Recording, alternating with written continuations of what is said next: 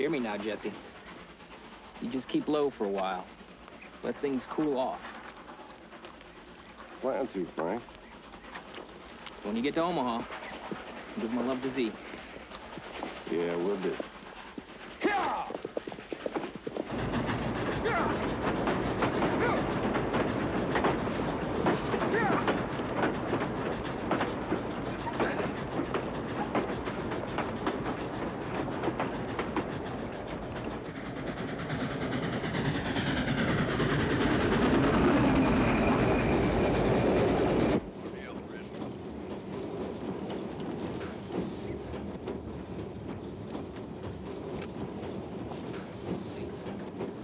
Is it loaded? Of course. We must learn how to use them if we are to shoot Indians. Why? Why learn? Why must you shoot Indians? Because, uh... Ah, I see what you mean. Uh, you think I speak of India Indians, but no, no, no, no, no. Not India Indians. It is American Indians. You want to kill them. Do you not think they have been killed enough already? Pardon? Have they not been killed and starved and made miserable by the people who invaded their country? Just as my own countrymen were invaded by the British? No. I do not blame the Indian for defending his homeland. You will please put the gun away. Point well taken, Passepartout. I do hope, however, you intend no grave reflection upon the British. We do, after all, bespeak a civilized society throughout the world, whereas these Americans... Pie! Shovel. Chicken! Oh, thanks. Pie! Hardtack! Chicken! No, no. Excuse me, sir. I should like one of your local pheasant, uh, with a little touch of sage, perhaps. We can all share.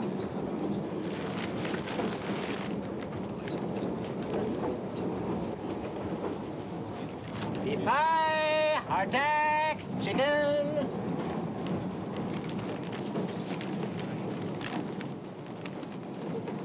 It is chicken, monsieur. By the look of it, it must have had a long and difficult life. And quite an unpleasant death.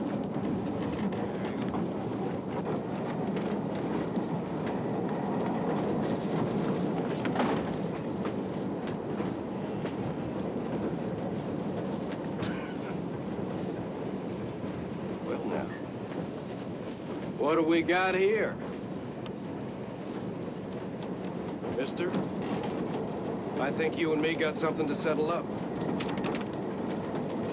You armed? Of course not.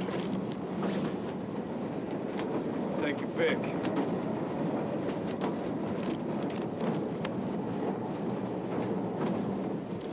Do I assume here that you demand satisfaction over our encounter last evening?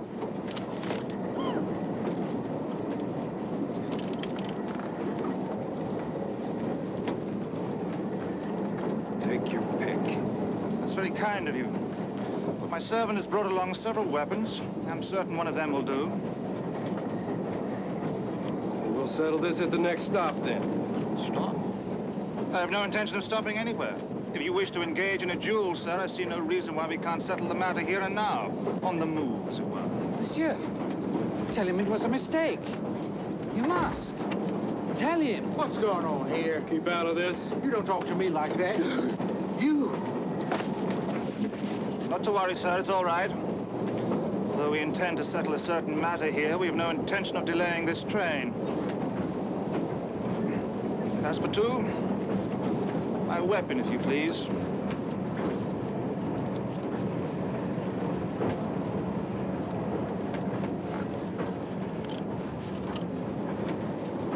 Mister, I don't know who you are, but anybody puts up a gun at Jesse James is a dead man.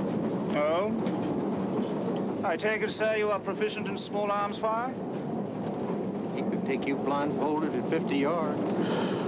Oh, Phileas. You talk too much. Now let's get started. No! Okay, everybody out. Out, out. Come on, next car. You two ladies. Out, get into the next car. Out. Not here! Out. Gentlemen, if you will please to stand back to back in the middle of the car.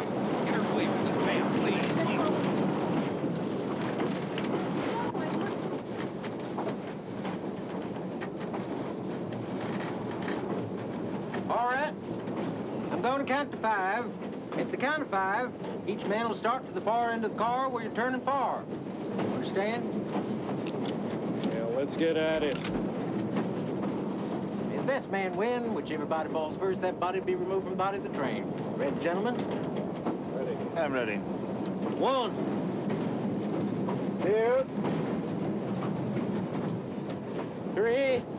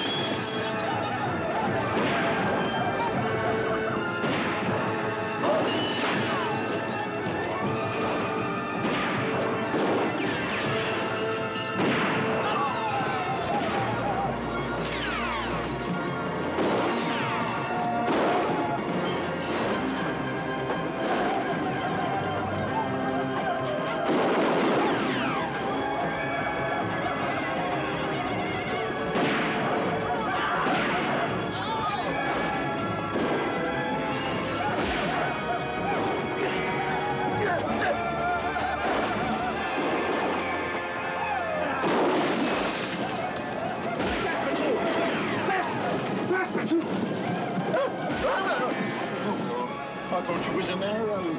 What you doing? Bastard! Bastard! What a cowardly act! No, monsieur. The guns. He put them under the seat. I gave you one, and all the rest have gone. Gone? Someone has stolen them. No. I hid them. Mon Dieu.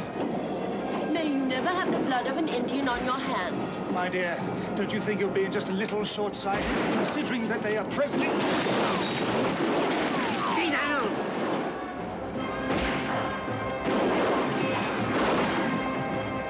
There's an army fort up ahead. If we can signal them, we have a chance. Please do. Gotta reach the engineer. Have him blast the steam whistle. Somebody's gotta crawl the locomotive. Crawl? On top of the carriages. Oh, well. I shall undertake that at once. No, monsieur. Forgive me if I have said to myself, but it is I, monsieur, that have the acrobatic experience. You will not deny this, no? Bon. I go at once. Very good. That's the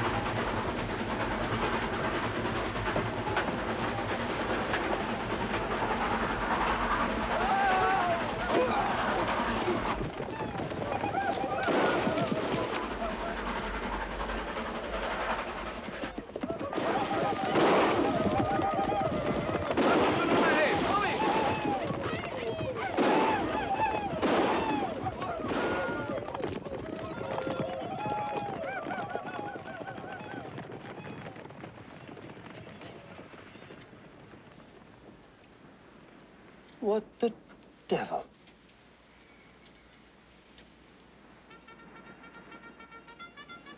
Oh, Listen! don't you hear?